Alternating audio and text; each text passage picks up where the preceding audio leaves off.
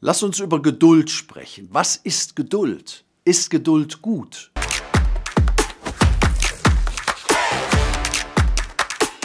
Hallo, ich bin Bodo Schäfer, Money Coach und Gründer des VIP 7 Jahresclubs. Und mit dem Kurs kannst du, wenn du dabei bist, in nur sieben Jahren deine finanzielle Freiheit erreichen. Also was ist Geduld? Es ist die Fähigkeit, eine Verzögerung zu tolerieren, aber auch Schwierigkeiten und Leiden zu akzeptieren ohne dann ungeduldig, ungehalten oder gar wütend zu werden oder frustriert. Ich war früher ein extrem ungeduldiger Mensch. Und mein erster Weg zu diesem Thema, um etwas zu lernen, war eine wichtige Unterscheidung. Ich habe gelernt, dass es in manchen Kontexten wichtig ist, geduldig zu sein.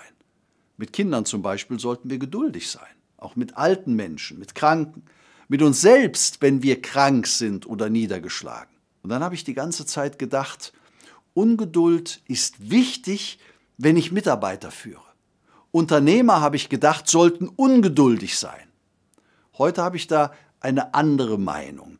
Ich glaube, dass Geduld ein ganz wichtiger Bestandteil ist, um eine bestimmte innere Leichtigkeit zu spüren.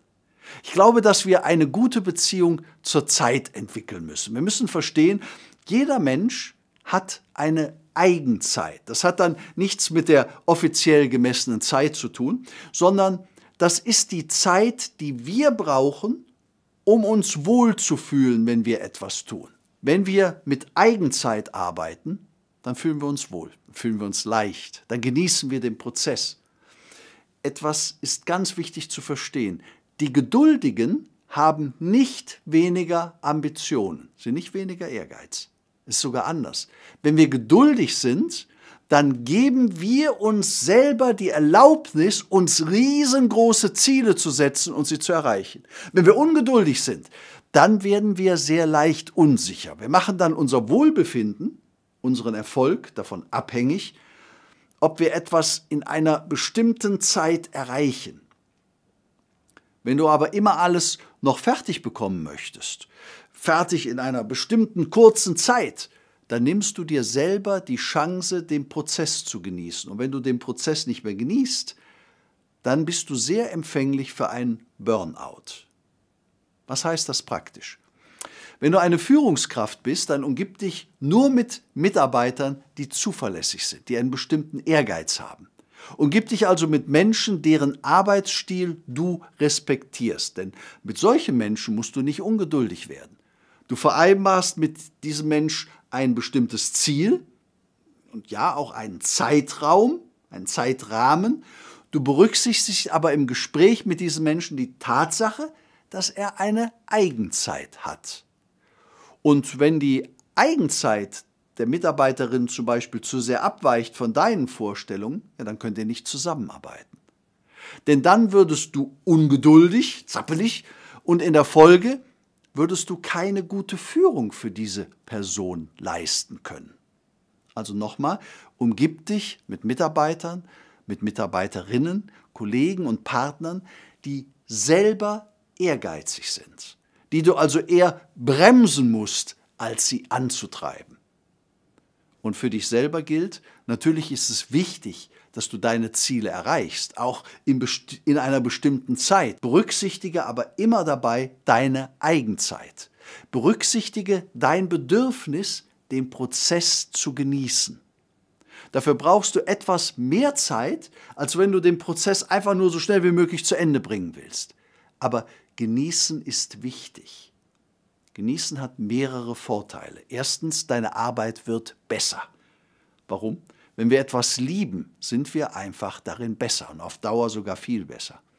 Zweitens, wir werden dabei noch besser. Wenn wir etwas genießen, lernen wir leichter und entwickeln darum eine immer größer und stärkere Expertise. Menschen, die nicht genießen, lernen wenig. Und viele Menschen haben deshalb in der Schule lange nicht die Leistung gebracht, die sie hätten bringen können, weil sie einfach keinen Spaß hatten durch die Art und Weise, wie der Unterricht stattfindet. Drittens, wer seine Arbeit genießt, wird weniger krank, bekommt wahrscheinlich auch keinen Burnout.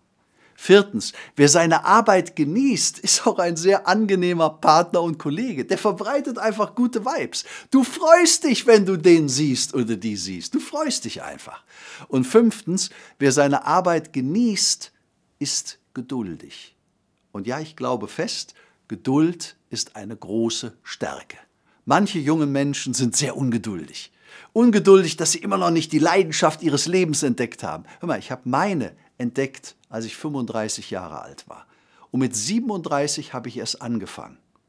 Weil ich jetzt schon ein bisschen älter bin, sieht es so aus, als hätte es mich ewig schon gegeben. Aber erst mit 37 habe ich angefangen. Darum sage ich zu jungen Menschen immer, sei geduldig. Experimentiere, probier was aus. Bereite dich aber gleichzeitig darauf vor, indem du lernst. Experimentiere bedeutet nicht, dass du einfach nur lebst, sondern lerne. Lerne jeden Tag mindestens eine Stunde. Und dann müssen wir wissen, das Leben besteht nicht nur aus hellen Noten. Es gibt auch die dunklen. Es ist wie am Klavier. Die dunklen, das sind dann Krankheit, Unfälle, Verluste, Trennungen, irgendwelche schwierigen Situationen. Und in solchen Situationen ist Geduld eins der wichtigsten Dinge, die wir auf unserer Seite haben können. Wenn wir gelernt haben, geduldig zu sein im normalen Leben, können wir viel leichter die Schwierigkeiten des Lebens ertragen, wenn sie uns treffen. Wir verlangen dann nicht sofort vom Leben, dass sofort wieder alles schnell, schön, hell, klar, strahlend wird. Der Geduldige kann das Leben besser akzeptieren. Vielleicht regen dich diese Ideen zum Nachdenken an und wenn das so ist, dann empfehle ich dir, setz dich einfach mal fünf bis zehn Minuten hin und formuliere deine Ideen über Geduld.